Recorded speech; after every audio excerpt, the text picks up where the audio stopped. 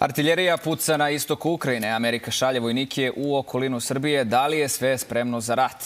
Da li su Lajčak i Eskobar u Beograd doneli klopku za kosovske Srbe? Pada li Abazović ili Krivokapić ili će obojica morati na izbore? To su sve pitanja za novinare Filipa Rodića i Zorana Ostojića, a nešto kasnije u razgovor se uključuje i Andrija Mandić iz Podgorice iz Demokratskog fronta. Dobro jutro. Dobro jutro. Hvala vam što ste ovoga jutra jutra ovde. Blic na naslovnoj strani, osim što se e, bavi odbranom Miroslava e, Aleksića, piše i o situaciji u Ukrajini. Donosi tekst o tome da veliki broj pripadnika privatne vojske Wagner ubrzano napušta Afriku. Zloglasna grupa Wagner, koju vodi jedan od najbližih saradnika ruskog predsednika Putina, izlači desetine plaćenika prekaljenih u borbi iz Afrike da ih pošalju u istočnu Evropu, gde ruske snage prete Ukrajini. To piše uh, Daily Beast. Takođe, Biden odobrio slanje dodatne vojske na istoku. Planuje da oko 2000 vojnika bude poslato u Nemačku i e, Poljsku. Pa je moje prvo pitanje da li vam sve ovo zvuči verovatno i ko koga e, tu zaluđuje, da tako kažem, sprema li se zaista rat ili je sve ovo samo e, neka vrsta zastrašivanja? Teško da bilo ko sad može da kaže rata neće biti. Mi se nadamo. Mene više ta situacija interesuje s aspekta Srbije, jer mi ćemo biti u nezgodnoj situaciji ako dođe do oružane agresije. Pa zato što ćemo morati da se opredelimo. Morat ćemo da osudimo kršenje međunarodnog prava i upad jedne, vojske jedne zemlje u drugu. To, to, je, to očekuje od nas. Prvo, to je normalno da to uradimo, a drugo, ako, smo, ako još uvek bude posle ovih izbora politika da hoćemo u Evropsku uniju, onda to svakako očekuje Evropsku unija. A ako ne osudimo, pravimo se neutralni, vidi, ovaj, idem tetki da odnesem lek, onda će Putin da ovaj, bude ljut, a onda će cena gasa i šta znam šta sve može da bude Tako da nama to ne odgovara da dođe do rata. A zašto ništa ne možemo... da se, da, se, da se odlučimo za jedno ili drugo? Jel nije moguće da ostanemo, kao što ste rekli... Da, da, da čutimo na to kad jedna zemlja oružano napadne drugu. Ne da čutimo, nego da prosto... Da možemo prosto, i to. Ne, ne, da li je toliko bitan, ne, bitan naš odgovor na sve Pa možemo. Evo i ovo saopštenje Ministarstva stojnih poslova koje sam pročitao. U njoj nema rečenice koje je za očekivati da podržavamo teritorijalni integritet Ukrajine. Podsećam, Ukrajina je zemlja koja nije priznala Kosovo. Prosto je to prirodno. Tog saopštenja ne, u toj te rečenice nema. Tako da, verovatno ćemo to što kažete gledati u nebo i reći to nije naša stvar i tako dalje. Ali, time ćemo se zameriti obema stranama.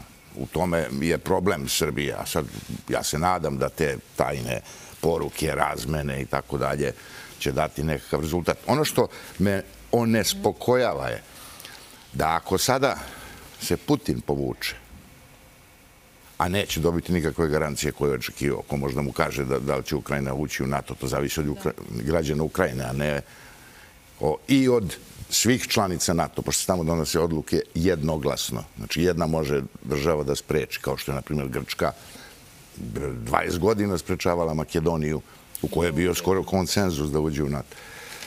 Ako se povuče, mislim da će njegova unutrašnja situacija biti teška, zato što siguran sam da i on ima nekakve šešelje i, i takve jastrebove koji će da kažu ti si meko, popustio si i tako dalje.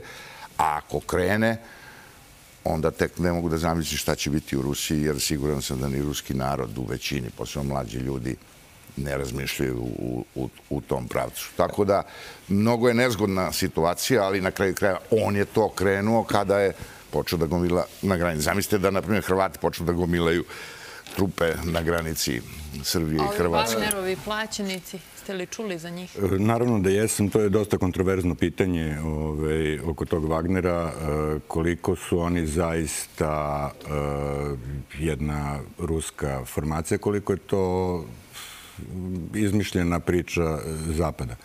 Ja se pitam zbog čega se ovde kreće odmah sa pozicije da bi Rusija izvršila agresiju na, na, na Ukrajinu i ja sam vrlo zahvalan gospodinu Ostojiću što je pomenuo Hrvatsku i Hrvatsko eventualno gomilanje ovaj, snaga na, na, na ukrajinsko, na našoj granici sa, sa Hrvatskom.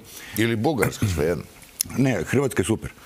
Ove, e, mene u, e, situacija u Ukrajini veoma podsjeća na onu situaciju koju, koja je bila u Hrvatskoj i e, kao što do ustanka e, tih proruskih separatista, kako se nazivaju pre svega u zapadnim medijima, je i došlo, e, do toga je došlo u situaciji koja je vrlo nalikovala onoj u Hrvatskoj 90. i 91. godine,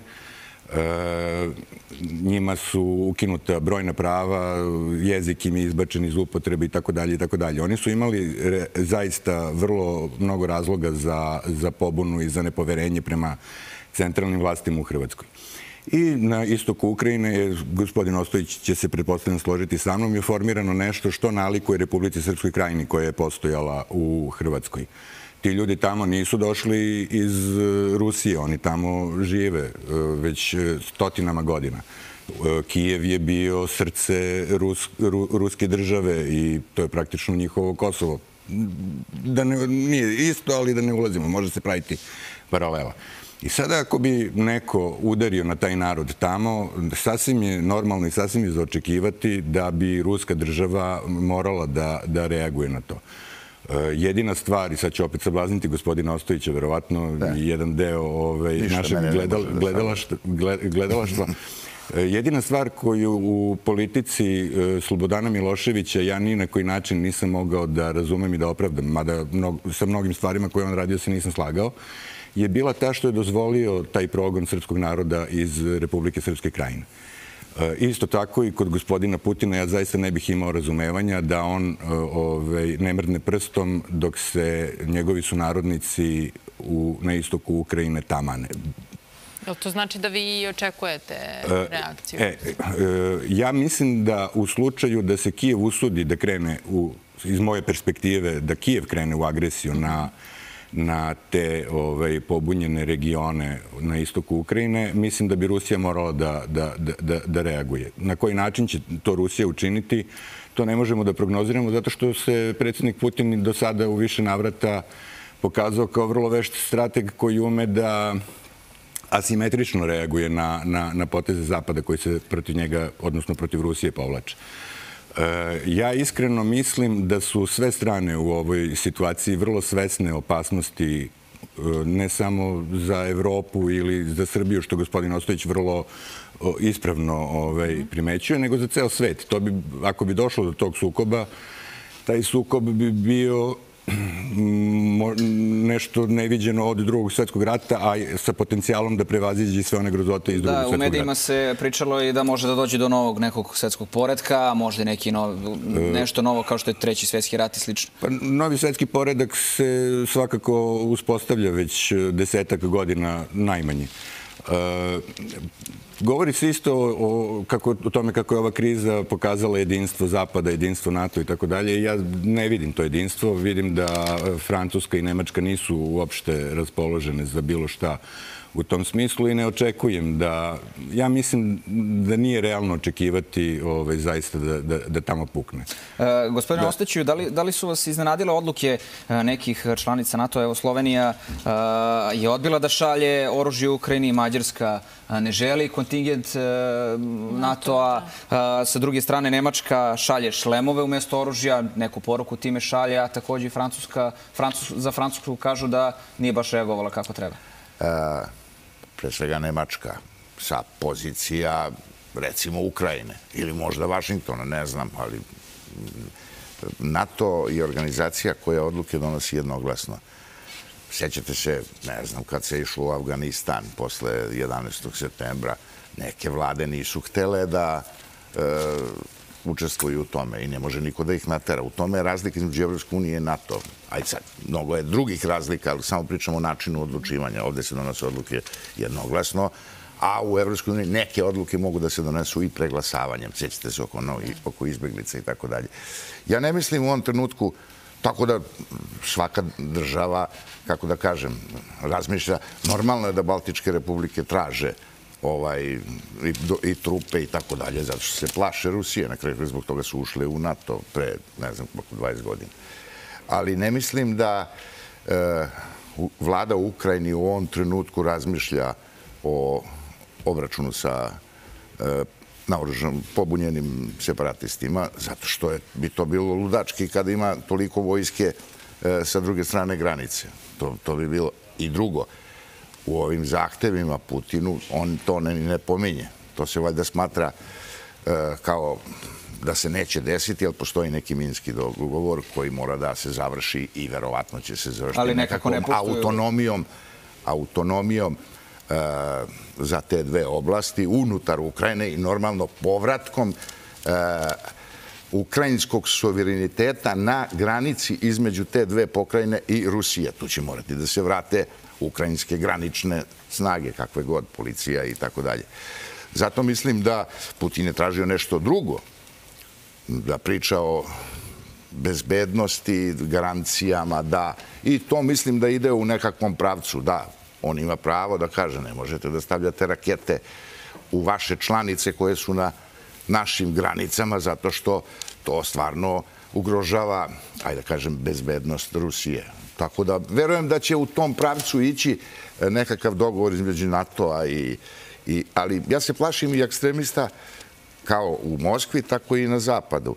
Verujem da ima onih koji bi hteli da navuku Putina u, u ratnu avanturu. Jer gledajte, e, NATO je nekoliko puta bio u situaciji da je izgubio svoju svrhu, na primer, početkom 90. godina. A onda je dobio svrhu kada su Milošević i Tuđman krenuli na Bosnu. I povratio je, kako da kažem, čak se i raširio posle toga. Tako da mislim da i na zapadu ima neki koji kažu kad bi krenuo Putin, to bi dalo novi podstrek ovaj, NATO-u i naoružanju i vojno-industrijskom kompleksu i postavljanju ovih eh, da, opasnih raketa što lete do 500 km kratkog iz srednjeg dometa, još bliže granicama Rusije, tamo i gde ih sada nema i vojske tamo gde je sada nema. Naprimjer, nema američke vojske u Bugarskoj ili Rumuniji i tako dalje, a posle toga bi svakako došlo. Da, nastavit da Ako biste mi dali samo minut jedan da dopunim ovo što gospodin Ostojić e, potpuno u pravu kaže, ovaj, Zbignjev Bžežinski je imao e, teoriju i strategiju e, čovjek koji je inače uvukao Rusiju po sobstvenom priznanju, u, u, u, to je Sovjetski savez u ratu u Afganistanu, da bi bilo idealno navući Rusiju da krvari po ukrajinskim gradovima. To je još pre desetak, 15 godina imao tu tu, tu strategiju za... za... Nije samo to. Pogledajte šta se desilo Sadamu Huseinu. Njemu je preulazak u Kuvajt američke ambasadorka rekla u nekom razgovoru mi smatramo da je Kuvajt e, istorijski deo Iraka. On je to shvatio kao zeleno svetlo i krenuo i završio kako je završio. Kad je došlo do raspada Jugoslavije, Amerika je, George Bush otac je poslao par desetina vojnika samo na granicu sa Mađarskom, pa sa Makedonijom, između Srbije i Makedonije. I time pokazao da Makedonija ne sme se dira, jer je ona stvarno najvažnija država, zašto u sredini i tako dalje, takva. A onda su ova dvojica shvatili da Bosna može.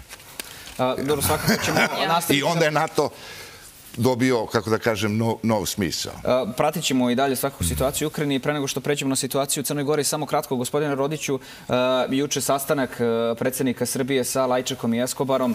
Evo, politika piše da je predsednik rekao Priština odbija da ispuni dogovoreno. Da li se nešto postiglo ovim sastankom? Da li su nam doneli neke, neke nove garancije ili bilo šta, nešto što... Ja nemam takav da utisak. Ja nemam takav utisak. Imam utisak da je ovaj, sasvim suprotno i da oni pokušavaju sada Prištinu da ubede da e, ponovo pristupi dijalogu tako što će prihvatiti u stvari njihovu tezu o tome šta zajednica srpskih opština treba da bude i ona izjava o tome da niko normalan ne želi Republiku Srpsku na Kosovu je vrlo rečita. Ne, ne bih vas dalje zadržavao na, na tome. Zbog vidim da- čega da nikako čujemo nešto, nešto konkretno? Pa da Ovi naslovi koje čitamo danas e, isti su, na, i odnosno slični naslovima koje čitamo svaki put kad se završe da li briselski pregovor. To je tako, tako se hajde, da vodi diplomatija. To konkretno ćemo to će ostaviti, ako do toga dođe, za kraj, za lidere. Ovo zajednicu srpskih opština i poređenje sa Republikom Srpskom, je li to konkretno? Ne, nije to konkretno. Postoje, kako da kažem, postoje. Prvo, zajednica srpskih opština je ideja Arhtisarija. Ja čak mislim Jel da, Albin Kurti poručio da neće Ja čak mislim da, da, je, da, da se pominje da opštine sa srpskom većinom u Ustavu Kosova, u Ustavu Kosova da mogu da se e, udružuju. Normalno nije definisano, nisu definisana ta ovlašćenja. To je pod jedan. E, pod dva, to je potpisano i više puta su ovi i evropski predstavnici i zapadni rekli ono što je potpisano mora će da se sprovede. Kad? Tad.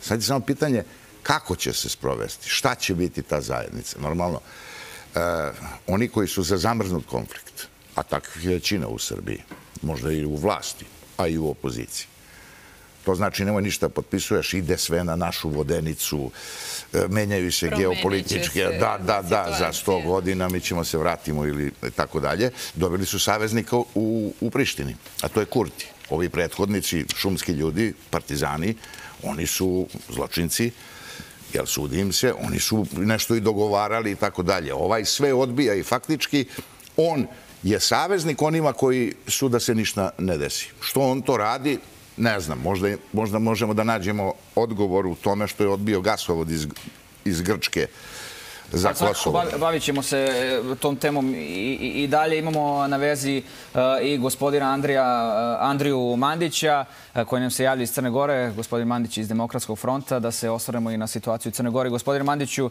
dobro jutro, hvala što govorite za jutro na prvoj. Dobro jutro. Naše večernje novosti ovoga jutra pišu u Skupštini Crne Gore danas o razrešenju podpredsjednika vlade, a na predlog premijera postavljaju pitanje Dritan pada pre vlade. Pitanje za vas je hoće li Dritan Abazović danas biti smenjen u Skupštini i kako će glasati Demokratski front? Ja ne znam da li će on biti smijenjen. Ako bude zavisjelo od demokratskog fronta, on će svakako biti smijenjen jer ćemo mi glasati za njegovo razrašenje. Velika je politička kriza u Crnoj Gori i nije na odmet e, e, saopštiti da je konstituisana parlamentarna većina, znači ovog trenutka, koja hoće da obori vladu. Ta većina postoji. Ova vlada nije imala podršku parlamentarne većine od maja ali to što nije imala podršku parlamentarne većine, niko nije pokretao proceduru smjenjivosti te vlasti, jer smo željeli da u okviru pobjednika izbora od 30. augusta prošle, prošle godine, da ti e, da ta većina pronađe način da ona nekako ili kroz rekonstrukciju vlade ili kroz izbor nove vlade nastavi da funkcioniše. Kako rekonstrukciju vlade nisu dozvoljavali ni predsjednik ni potpredsjednik Abazović, a predsjednik vlade nije želio da podnese ostavku kako bi se birala nova vlada, to se tako mjesecima vodila neka čudna politika, dok u samoj vladi nije eksplodiralo na, na relaciji predsjednik-potpredsjednik. Jer da su pale teške riječi posle kojih je nezamislivo da ostane ovaj kabinet. Potpredsjednik vlade je osumičio predsjednika da je povezan sa kartelima koje švercuju cigarete, predsjednik vlade je potpredsjednika da je povezan sa onim drugima koje švercuju narkotike i samim tim prelaženjem takvih granica u komunikaciji predsjednika i potpredsjednika postalo je očigledno da će se ubrzati proces smjenjivosti, smjenjivosti postojeće vlade. E, mi ćemo dakle danas glasati za razrešenje Drita Nabazovića, a da li će on biti smijenjen, to ne zavisi samo od nas. Neophodno je 41 poslanik da podigne ruku. E, gospodine Mandiću, e, da li će doći do vanrednih izbora možda? Da li će biti reči i o tome? E, a takođe i ukoliko na kraju budete morali da birate saradnju ili sa gospodinom Krivokapićem ili sa gospodinom Abazovićem, za koga biste se odlučili u tom slučaju? Pa, što se tiče varednih izbora, mislimo da je to najpoštenije rešenje. Kada se pojave ovakve krize i kada parlamentarna većina koja je pobjednik na izborima, ako ne može da pronađe snagu da konstituiše neku novu vladu, onda su izbori najpoštenije rešenje. Ono što je problem u Crnoj Gori, ko će da priprema te, ta, ko će da priprema te izbore, jer smo potrošili godinu i po dana, ova vlada je potrošila da ništa nije uradila na popravljanju izbornog zakonodavstva. Mi, imamo veoma problematične biračke spiskove. Mi imamo mnogo toga što je trebalo da odradi izvršna vlast, ali se ona nije bavila tim, vjerujući da će mnogo duže da traje nego što se ispostavilo u konačno. E, dakle, E, varedni izbori kažem, su najpoštenije rešenje, ali te izbore bi trebala da pripremi neka tehnička vlada u koju bi svi imali povjerenje. I, ti, i ta vlada tehnička bi bila konkretno vlada zadatka koja bi morala kažem, da pripremi i ovu izbornu infrastrukturu, a morala bi takođe da odradi neke druge poslove koji bi te izbore činili mnogo boljim i mnogo slobodnijim nego što su bili do sada bilo koji izbori u Crnoj Gori.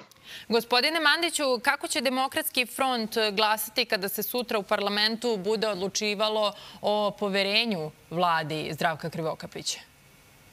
To je manje važno jer postoji većina demokratske partije socijalista i većina e, i stranke Drita Nabazovića koji imaju 44 poslanika, neophodno je 41 da bude smijenjena ta vlada. E, tako da je manje važno kako će se ponašati demokratski front, ali demokratski front uzima u obzir da je ova vlada ipak bila proizvod e, dominantno naše podrške, e, da, da smo mi imali od maja pa do sada vremena da pokrenemo sami proceduru za smjenu ove vlade, ali smo vukli pažljive političke poteze želeći da u okviru parlamentarne većine dođe do dogovora i da se izabere nova vlada koja bi bila uspješnija od ove. E, gospodine Mandiću, e, u medijima se stekao utisak da kada je došlo do svih ovih e, situacija, da su i gospodin Abazović, a takođe i gospodin Krivokapić, da su se više okrenuli Srpskoj pravoslavnoj crkvi. Koliko ona ima uticaj u svemu ovome sada, u podršci koju oni mogu da dobiju? Crkva u Crnoj Gori ima izuzetno veliki uticaj, ali mitropolit Joannikije i ljudi koji su da, u visokoj crkvenoj jerarhiji u Crnoj Gori, oni su poslali jasne poruke da ne žele da se miješaju u politička pitanja, e, da oni misle da parlamentarna većina može da pronađe snagu i da da adekvatan odgovor i svakako da, e, da to ko će zadobiti simpatije crkve, ja mislim da su više oni slali neka objašnjenja, kao što je gospodin Abazović obavijestio ne samo javnost, nego i našeg patrijarka Porfirija, da koja god vlada bude izabrana ili ova, ili ova ostane da on je zagovornik i da on želi da se potpiše temeljni ugovor sa Srpskom pravoslavnom crkvom, a to je bio jedan od osnovnih zadataka, to rešavanje odnosa države i crkve i osnovnih zadataka vlade Zdravka Krivokapića. Zdravko Krivokapić nije ni došao na čelo vlade da bude neki ekonomski reformator, niti je njegova vlada bila reformska. On je čovjek koji je trebao jednu tešku političku krizu koju je otvorio Milo Đukanović napadajući Srpsku pravoslavnu crkvu, on je trebao da, da ta vlada riješi taj problem ali nažalost, evo, vidjeli smo da u maju, kada je bila dobra prilika da se potpiše taj temeljni sporazum, da Krivokapić to nije želio da uradi, nego se, nego se posvetio više nekim drugim pitanjima, vjerujući da će to moći uvijek da završi. Da li smatrate da je dobar da. stav crkve da se u, ovo, u ovoj situaciji drži, drži po strani ili mislite da, da, je, da bi crkva možda mogla pomoći u razrešenju ove krize, kako je nazivaju mediji? Kažem, Pa kažem da je crkva načelno saopštila svoj stav i da je crkva preporučila da se u okviru parlamentarne većine dijalogom pronađe rešenje koje bi omogućilo da vlada, da se konstituiše vlada i Nažalost, izgubili smo. Aha. Ako toga nema, ako toga nema, ako toga nema tog rešenja, onda, je, onda su izbori svakako najpoštenije i najčasniji izlaz za sve uh, aktere političke scene. E, gospodine Mandiću, hvala mnogo što ste se uključili u naš jutarnji program i e, pričali sa nama. Hvala. Hvala vama. Čuli ste šta kaže gospodin Mandić. Kako komentarišete situaciju u Crnoj Gori i kako vidite vi razrešenje krize? E, kako, kako i reče Mandić, a, vlada će pasti. Što se tiče Abazovića, on neće biti smenjen, čak neće ni da se raspravlja. U stvari, to je jedina nepoznanica. Mandić kaže glasao bi za smenu, za smenu Abazovića, a nije bitno šta bi glasao za vladu. Suština je da je ovo manjinska vlada. Krivokapić i sam Mandić kaže još nema od maja podršku. Mhm. Znači, manjinska vlada će pasti. Abazović e, neće verovatno biti ni rasprave, jer da bi sednica na kojoj treba da se raspravlja i na kraju glasa o e, Krivokabićevom predlogu da se smenja Bažović, mora da ima kvorum. Tu je najinteresantnije kod današnje sednice šta će da uradi DPS. Oni imaju dilemu, koliko sam ja shvatio. Oni normalno, ako ne dođu, onda nema sednice, nema ni rasprave. Ali oni možda dođu, pa daju kvorum. Je li mu interesu da, da još, e, kako da kažem, kofe ili prljavog veša vlade u toj raspravi jedni na druge, Abazović, Krivoković pobacaju. pobacaju. Znači, od DPS-a zavisi da li će biti rasprave, a svako neće glasati. Znači, Abazović ostaje. Samo je rasprava u pitanju. Kad je u pitanju manjinska vlada, ona vlada će pasti, kaže i Mandić, ima parlamentarne većine. Suština u Crnoj Gori je 49 poslanika. Jer ranije kad je opozicija e, izvukla i stiskala Miloševića i, i, i ovi i Zapad, doneti su neki zakoni gde se neke odluke mogu doneti sa 49 od 81, a ne sa 41 koliko ima ova vlada koja je izgubila još u maju većinu. Ovaj. Tako da e, crkva je otprilike stala na stranu u svom saopštenju koje je potpuno političko juče. Ona pominje manjinsku vladu, izbori, Mm. tako što ima crkva o tome da priča. Stala je na stranu ovog e, što je rekao ovaj, Krivokapić. On zna da će vlada pasti. On je protiv manjinske vlade koja bi imala 49 on je za neku tehničku vladu koja bi pripremila izbore. Verovatno će biti manjinske vlade koja će biti oročena na godinu dana, koja će pripremiti Gospodin izbore. Rodiću, kako vi vidite sad e, razvitak ove situacije? Ja se potpuno slažem sa, ovim, sa svim ovim što je gospodin Ostojić rekao, jedino u delu ovaj, crkve. Ja ne mislim da je to političko. Pa pročitajte ga. Mislim da po svojoj suštini se crkva distancira i da zauzima onu poziciju koju zaista i treba da ima, da se ne meša u ovako striktno e, politička pitanja, ali kada, kada su u pitanju neke druge stvari po- poput identitetskih pitanja i same crkve, da da je tu e, pozvana da, da, da se umeša. Ja očekujem da će DPS dati kvorum za raspravu, a da neće za glasanje. Jer upravo kao što je gospodin Ostojić rekao, mislim da njima odgovara iznošenje Da se svađaju. Da, da, da. Tri sata bi trajala Da, rasprava. da. Ko zna šta bi tu, evo, ove cigare, droga... Ja da sam DPS, ja bih ih, ja bih ih pustio da, ovaj, da, da, da se svađaju pred kamerama. E, vidjet ćemo kako će se odvijeti. Da, ali suština je da zašto je e, Mandić protiv Krivokovićeve vlade? Iz istog razloga koji, kao i DPS, iz istog razloga kao i Abazović. Tu su im se poklopili interesi. Govorim, kad kaže Mandić, mislim na demokratski front. Da, da. Neće dozvoliti Krivokapiću ono što je naumio. Da parama, ogromnim parama iz e, zaduženja, pravi stranku. Jer je to njegov, njegova ideja bila. Znači, tu se poklapaju svi na političkoj sceni. Jedino Bečić nešto se ovaj, gica, ali verovatno... Hoće li se gospodin Bečić e, smeniti takođe? E, I ta inicijativa je rečeno da će biti pokrenuta. Ali Abazović je rekao da neće da glasa.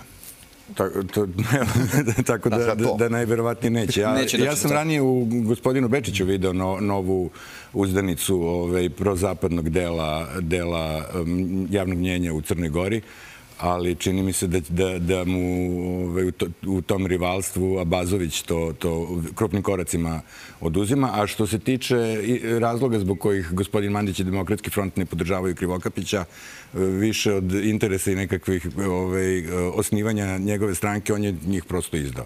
On je na vlast došao zahvaljujući njima kao A dobro, nosilac to. njihove Ali to je liste i sve što je trebalo da uradi nije uradio, uradio je potpuno suprotno. temeljni ugovor, vidjet temeljni ugovor teško da može potpiše tehnička vlada, za koju se zalaže Mandić. I to ni crkva ne želi, sasvim da. ispravno. Manjinska vlada vidjet ćemo možda. Kako će, vidjet ćemo kako će danas e, sve proteći u Skupštini Crne Gore i pričat ćemo još na ovu temu. Hvala mnogo što ste Hvala bili vam. naši gosti. Hvala vam.